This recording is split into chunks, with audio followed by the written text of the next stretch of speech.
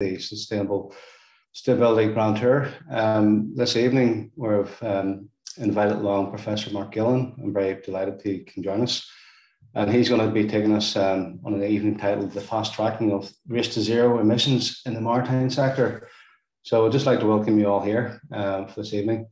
Uh, okay, thank, thank you very much, Anthony, and uh, delighted to, to be invited this evening to share over the next uh, uh, 30, 40 minutes uh, the journey that Artemis Technologies and our Belfast Maritime Consortium are on uh, and what's called the race to decarbonise uh, the maritime sector.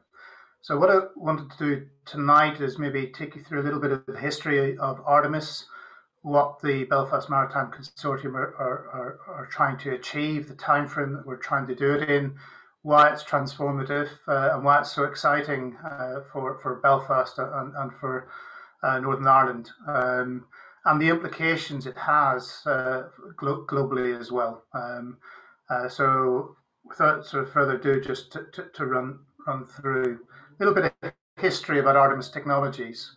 So, Artemis Technologies is a spin off uh, of Artemis Racing, and Artemis Racing is a successful America's uh, uh, Cup uh, yacht racing team. It was formed in 2006, so had over a decade of uh, racing heritage uh, before we established Artemis Technologies.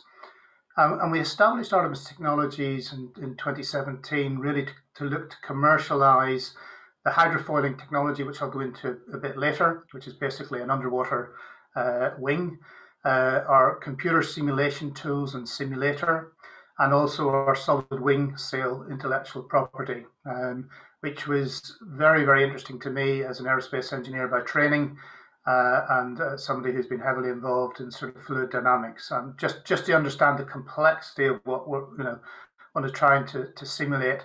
Not only are you trying to simulate, obviously, the, the wind uh, and obviously the water, uh, but, you know, transition from laminar to turbulent over the foils and also the autonomous control systems. and, and, in addition to very highly complex, lightweight uh, uh, composite materials. So, Artemis Technologies, as I said, formed in 2017. Uh, we formed basically uh, two parts in the company. One is doing engineering services, both for high performance sport and commercial clients, but also we're developing products, um, including the, the simulator product you see here, but more recently looking at looking into zero emissions vessels. And the mission is, is, very simple. Uh, what, having had a background in uh, both aerospace to start with, uh, and as Nancy said, for 15 years in Formula One, uh, where I led sort of Williams race team and also Jaguar uh, Land, uh, Jaguar Land Rover and Red Bull, the race engineering team.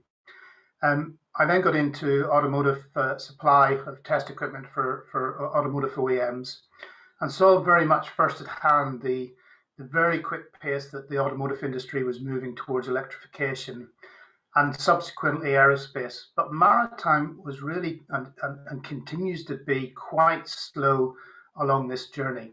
Um, when you look at the funding uh, platform uh, that, that exists, say, in the UK, uh, for for the transportation side. Aerospace is by far the number one funded sector, followed by automotive. But maritime is a really, really small part in that, that graph. So it's maybe no surprise, surprise that the innovation levels in, in maritime are much, much less and slower uh, sort of integration than, say, in aerospace or automotive. So our mission at Artemis Technologies is to lead that decarbonisation of the maritime sector through innovation, and sustainable technologies and products. And actually, the picture you see here is uh, one of our old uh, AC45 boats uh, running up and down Belfast Harbour uh, when we launched uh, Artemis Technologies in Belfast in 2017.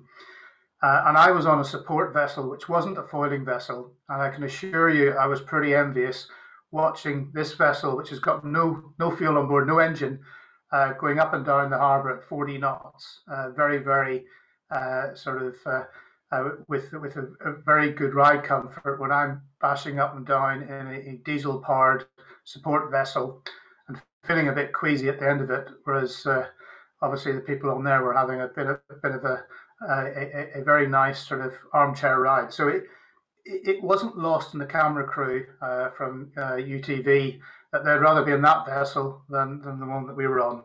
So what we want to show you today is how we're taking the technology from then, uh, sort of uh, in the sort of mid mid uh, sort of 2015s, 2016s into uh, the sort of the the 2021, 2022, and where we're going.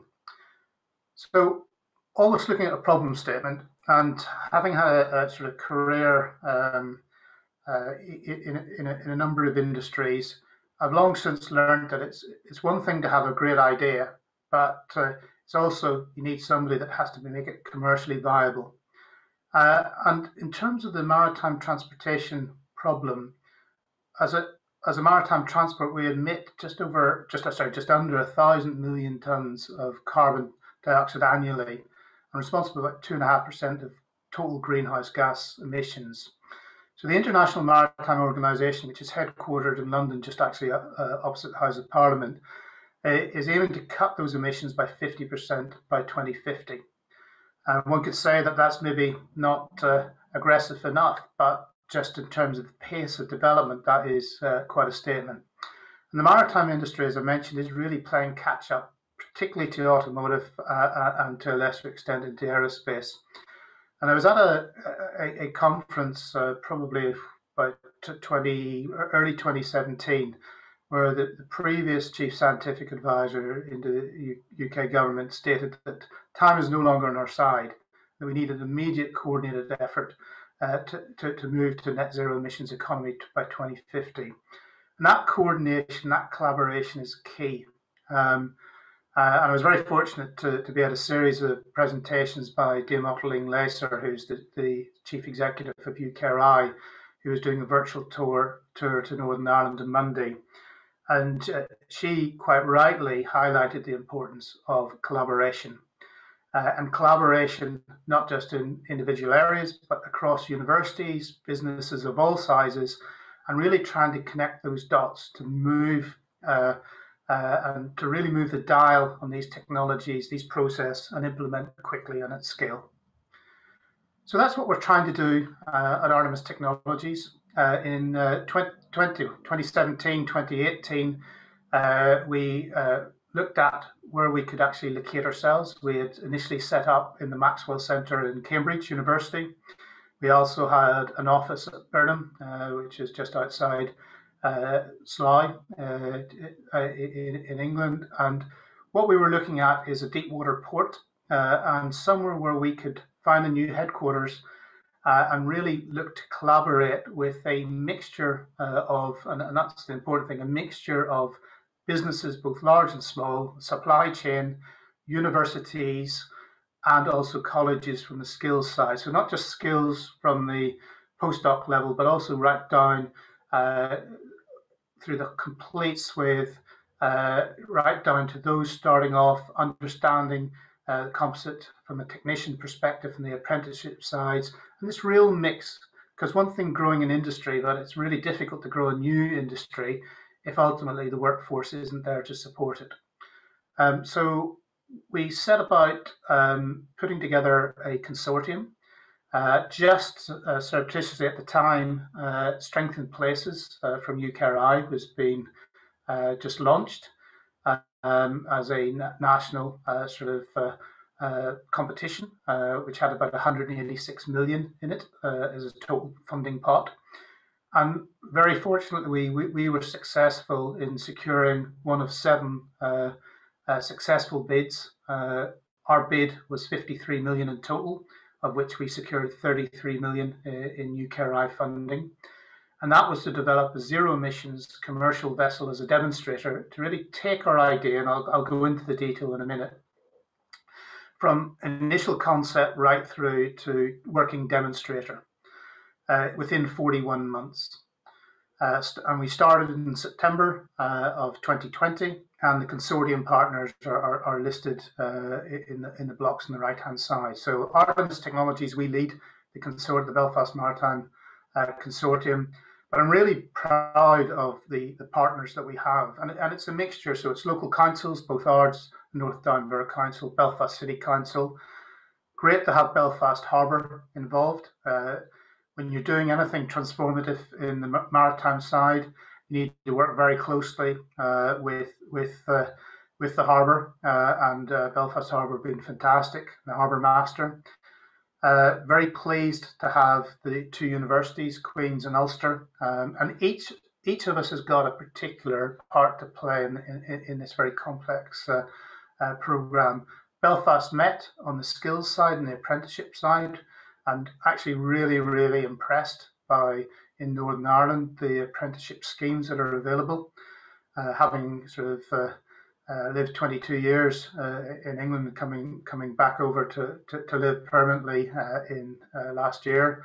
Really, really pleased to, to, to, see the the pace at which Belfast Met is, is able to move. We have Spirit uh, involved, here obviously Bombardier named, and actually I'm an ex Shorts brother person back in the day without trying to age myself too much. Um, as well, Creative Composites uh, an SME uh, based based in Lisburn. Um, Energia, uh, we operate with uh, PowerNI and InvestNI, NIACE as well um, from the sort of composite uh, sort of proof of concept side, and obviously as I mentioned, the two universities. So 13 partners uh, working together uh, in unison in a very highly collaborative manner uh, to develop this, this, project. And I'll, I'll, show you the sort of the two stages. We're actually building two vessels. Um, we have a small 11 meter test mule, which I'll show you later, um, which is going in the water uh, towards the end of this year, uh, maybe very early next year. And then we have the larger 250 passenger plus, uh, foot passenger plus uh, demonstration vessel, which will run between Bangor and Belfast, uh, which will be in the tail end, uh, sort of mid to tail end of 2023. And what we're doing is we're combining three real sort of cutting edge technologies. We're combining uh, sort of hydrofoiling uh, technology from the cup. We're combining it with uh, energy recovery electric drive system from Formula One, uh, and also the autonomous controlled uh, carbon composite uh, designs from aerospace, from the cup, and putting those all together to create something that is, is truly transformative. Um, I'll go through why sometimes you look at some, you know, uh, vessels and you think, well, actually those are the same, and why they're not the same. Um, and this particular vessel has about a 90% efficiency rating over a standard uh, non-foiling vessel. In terms of governance, with that amount of government funding, uh, we actually put in place quite quite quite a detailed uh, governance structure. Um, so we brought in a, a, mix of independent uh, uh, uh, board members um, and also board members from, from the project. Uh, so Nusrat Ghani, who was the maritime minister a few years ago, is, is our chair. I'm the program director, in addition to being chief operations officer for, for Artemis Technologies. We have three uh, board members from the consortium, uh, Nick Laird from, from Spirit, Joe O'Neill uh, from the Harbour, and Ian Percy uh, from Artemis. And then we have very fortunate to have uh, three fantastic independent uh, board members. Jayne Brady, who will be well known in Northern Ireland, who's the digital commissioner at Belfast Regional City Deal. we work very closely with. David Morant, who's managing director of Scorpio UK who operates a very large vessel fleet, and Harry Theochari, uh, who up until recently was chair of Maritime UK and is one of the preeminent uh, uh, legal financiers. So they, uh, as, as a governance body, keep me right um, and keep the programme right. Uh, and say that's really important uh, when we're dealing with such a large sort of government funding and support. What I wanted to to show you though is a little bit. It's, it's about a three minute video um, uh, on the Cup. Now, as I say, I come from uh, Formula One for sort of 15 years and probably a decade on the pit, pit wall of various teams. And uh, I used to, if I'm ever going out, never you know, say too much about F1 because it's a bit of a marmite sport. People either love it or, or, or hate it. Um, uh, and in, in the cup, we see something similar. It's something about high performance sport. So what I wanted to do is give you a bit of a flavour for what one of these vessels looks like. And these are obviously the previous cup, um, which uh, is effectively the footprint of the vessel that then is brought forward into SailGP. Um, but this gives you a feel for the maneuverability uh, of the vessel, uh, the control systems on the vessel, with the, with the knowledge that these are not autonomously controlled, these are controlled uh, humanly and powered humanly. Uh, and if my boss, Ian Percy, was here, he's a double Olympic gold uh, uh, yachtsman with, with, with silver as well to his name, so one of the world's best sailors, he would say the same thing. And I, I mean, I'm no sailor at all, but uh, that him following a computer was better than him, and him off the boat uh, with the computer doing the work would have been better still. And when you see the simulator in action, you get a feel for, for what he means. So the, this video shows the vessels what's possible uh, when you have people at the top of their game uh, actually controlling them. But make no mistake, with them off the vessel and the computer doing the work and the autonomous control systems, what you see in terms of the uh, unstable nature, which obviously leads to the maneuverability of the vessel, is, is much improved. So I'll, I'll, be quiet for a few minutes and play this. Sometimes the sound doesn't come through too well, but uh, I, I, hope you get a flavor for it. So this is Artemis Technologies, a few in the, the previous cup, which we were the Swedish America's Cup uh, team, and uh, you'll, you'll, hear my boss Ian getting a bit excited at a few of the uh, more dubious decisions during the event. Stable and fast are the words being used to describe Sweden with Olympic medal pedigree and lots of muscle and smarts. What's not to like about Artemis racing at this stage?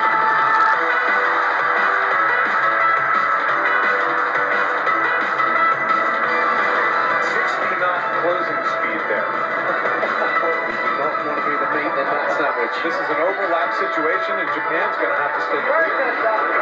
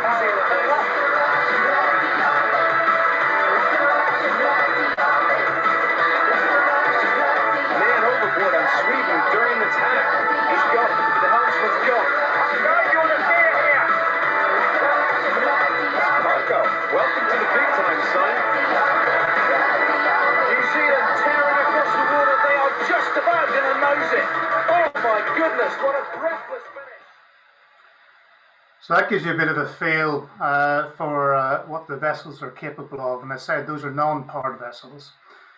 Um, so when I, I was uh, sort of asked to sort of uh, link up with Artemis uh, Racing at the stage, uh, and we were looking at sort of commercialization of the IP around the hydrofoiling technology and the solid wing sails obviously coming from a sort of Formula One background and had involved for quite a lot of time on energy recovery systems, we sort of came up with the idea uh, within Artemis of why don't we combine uh, the energy recovery system technology from F1 from motorsport in with that from the cup uh, for the hydrofoiling uh, technology from the cup and then really create something which is uh, really quite unique. Um, so over the last few years, we've been developing and uh, with patent applications and trademarking what's called the Artemis E foiler, which looks like an aircraft wing under the water, uh, which you can see with winglets, uh, uh control surfaces, and in the cutout, um, if you can see my uh, cursor, in this bulb is the motor generator unit uh, gearbox to shaft onto the propeller, and then up through the vertical goes the cabling uh, into the power electronics uh, inverter and into the battery energy storage system. And with that, we're actually able to demast the vessel uh, and effectively then create a zero emissions electric vessel, uh, which is able to go at high speed, very, very efficient, with about 90% efficiency over, over a standard uh, vessel. And we are around about 97% efficient from battery through to shaft to the propeller. So it is really transformative. So the, the real trick is being able to use the ultra high power density uh, motor generator unit. So it's both a motor and a generator, uh, along with uh, equally impressive in the line uh, system, electric drive system, coupled with an equally impressive uh, knowledge of carbon composite vessel design and hydrofoils. And uh, the third piece in it is the knowledge of autonomous control, flight control, because we are flying this vessel uh, autonomously, uh, just like on a on, on a uh, uh, in terms of autonomous control, just like on a modern aircraft when the pilot puts a motion onto the joystick, we do exactly the same. So the the pilot isn't physically doing the individual control of the surfaces. Uh, the software is doing it, it, for them. We're doing exactly the same on the vessel. Uh, and as I say, that that is the crux of being able to, to fly these vessels, get them out of the water, and get the drag reduction, so get the increased range. So, what does it look like on a sort of 250 passenger water ferry? Uh, this this is what it looks like. Um, I'll go through a little bit on the technology behind it, but the really important thing is it's not just about the electric drivetrain, it's not just about the composites. It's also about the flight control sensors, the collision avoidance system, the steering system, the anti-fouling, the biofouling. So unlike one of those race boats where you, you, pull them out of the water every night and give them a good clean, obviously you can't do it on a vessel like this, on a commercial vessel. So we have to have the ability to do that. We also want it to be a, a uh, vessel that people want to get onto, so not a noisy, uh, slightly uh, sort of uh, overpowering fumes from a diesel. Uh, we, we, we want to have it something that is a nice environment for the, for doing uh, sort of trips at speed in comfort um, and being able also to get your first last mile sort of bikes, e, e-scooters, whatever it may be, on, onto the vessel and been able to get that first and last mile journey as well complete. So looking a little bit more into it, this particular vessel, which is looking at the sort of uh, the end of 23 uh, for the demonstration between Bangor and Belfast, just as a demonstrator uh, of, of a commercial uh, uh, water uh, ferry. the vessel is about 35 meters in length, about 14 meters in beam, about 90 tons. And we're scalable in, in our technology uh, from uh, very low tonnage, so 10 tons right up to about 120 tons. And we'll do about 40 knots with an 80 nautical mile range in between charging. Um, and say that the boat actually foils around about 19 knots, depending on the foil design. One of the interesting things along the journey that we've had since sort of you know the 2017 when the sort of thought concept came up is obviously we were originally looking at sort of you know from a zero emissions perspective. But when you look at the other attributes suddenly it becomes really and you know, it comes back to my bit of it's, it's one thing to have a, a technology it's another thing to have a you know it has to make commercial sense. It also has to have a you know the other attributes help to making that commercial sense. So not only is it zero emissions we have little to no wake which means that for sort of close close uh, to shore or within river environments where bank erosion is an issue, we can go at high speed um, without the traditional wake wash uh, and bank uh, impact that you see with, with standard vessels. Very comfortable ride. If you ever get a chance to come down uh, and, and uh, see on the simulator, or hopefully uh, in a, in, a, number of months' time, we'll have the smaller vessel in, in the water for, for demonstration you will see the, real difference in ride comfort. And actually, for that, we are we are going to be running a side by side, a sister ship to the 11 meter vessel uh, to be able to show what the difference between a foiling and non foiling vessel is, comparing literally apples with apples, except for the foiling system. Um, so not be just looking at the range and the and the emissions reductions, but also looking at the change to the wake, the change to the ride, um, as I mentioned, it's scalable up to about 120 tons. Um, the autonomous control I mentioned, the, the efficiency saving, but there's other a couple of other interesting attributes which are on its quiet performance, so there's very little noise, and also for some other attributes such as a very low heat signature. So this is what our 11 meter vessel looks like. It's a, I mean, this is obviously a render, but it's a very accurate render uh, compared to the, the de detailed designs. So already all the long lead time items are out in the supply chain, uh, and uh, we're looking forward to receiving the first of those in the assembly side. And as I say, this will be in the water by uh, the tail end of this year, uh, the first few weeks of, of next year. Uh, and this is a foiling uh, high-speed vessel, doing around about 60 nautical miles at a 25 knot cruising speed uh, with a draft of around about 2.1 meters um, and takeoff speed. So that's when it comes onto the foils at 12 knots. And this is a composite construction. And as I mentioned, we will also be running right beside it a sister ship, which is identical hull structure, except it's non-foiling.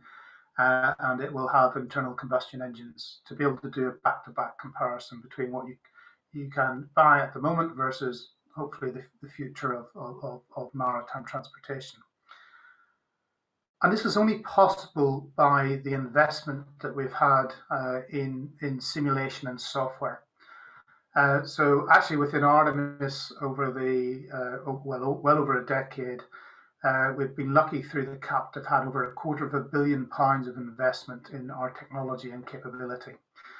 And it focuses around what we call the digital twin and, and the, the real-time simulator, so the human and hardware in the loop simulator. Uh, and that simulator is at the hub of our design process.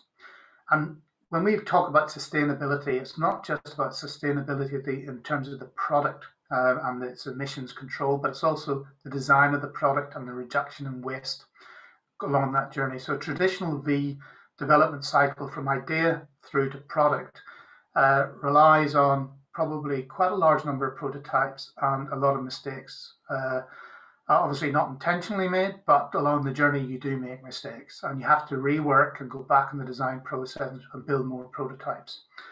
So more and more, just as in automotive and aerospace and the maritime, really in, engaging with uh, the simulation and simulator to try and minimize the need for prototypes, costly prototypes, and also minimize the waste in the system. And this just gives you a feel for our design process. And we have adapted that over many a year. So it's not just in the Cup, we do a lot of work in other areas, including solid wing sails for, for large vessels, uh, through to what you can see here on the, on the catamaran for the, the passenger ferry, right through to the takeoff and uh, loading cases on the 11 meter vessel. And this the, bot, the bottom right picture just shows our simulator uh, uh, and this is actually shown in our Burnham facility, but it's now operational in, in, Belfast, or actually in our Lisburn facility at the moment. Um, so it's exactly the same sim. We, we, we brought it across and, and reconfigured it and recommissioned it. Uh, and we're using that to develop the 11 meter vessel and the 250 passenger uh, vessel, the 35 meter vessel. So the cockpit you see is actually a cockpit for a Cup vessel uh, but with that cockpit comes off and we're able to put in the cockpit for the 11 meter uh, small test mule and also uh, the working environment for the larger vessel you see in the top left. what we also have with the consortium is a real interest in learning from the consortium. So learning from the universities on collision avoidance, on sensor technology, on different mechanisms for building the hydrofoils. So within Artemis, over the years, we have developed our own system, and actually what you see here is our sort of from San Francisco uh, facility where we were building cup vessels uh, and looking at uh, the uh, sort of the various uh, uh, testing systems going in, into the system. but we're really keen to learn from the universities and keen to learn from Creative and from Spirit on the mechanisms of building things uh, in volume uh, and to cost as opposed to at Artemis where we do things in, in lower numbers. Um, so it, it's trying to combine the sort of racing heritage uh, with the knowledge that we have on the simulation, with also the production knowledge that we have in our consortium members and also the uh, the knowledge from the R&D uh, from the universities. But also working with the, the councils because without the ability to operate um, from the, the regions, mean, this is the same globally, uh, then we, we, we, we'll, you know, it's one thing to have an electric vessel, it's another thing to have the infrastructure in place to be able to, to operate the electric vessel and be able to get the passengers on board to be able to demonstrate it. Uh, so this is what we have in place uh, along this journey. Um, and uh, as say, I'm uh, looking forward to hopefully some some uh, very detailed questions. I'm happy to answer them uh, as best I can. Uh, but hopefully it gives you a feel for the journey that we are on as a consortium over this next uh, sort of remaining three years. Um, and uh, looking forward to inviting you up uh, across in the Belfast Harbour to, to be able to see the, the, vessel in the vessels in action. Thank you very much. Uh, thank you very much, Mark. Um,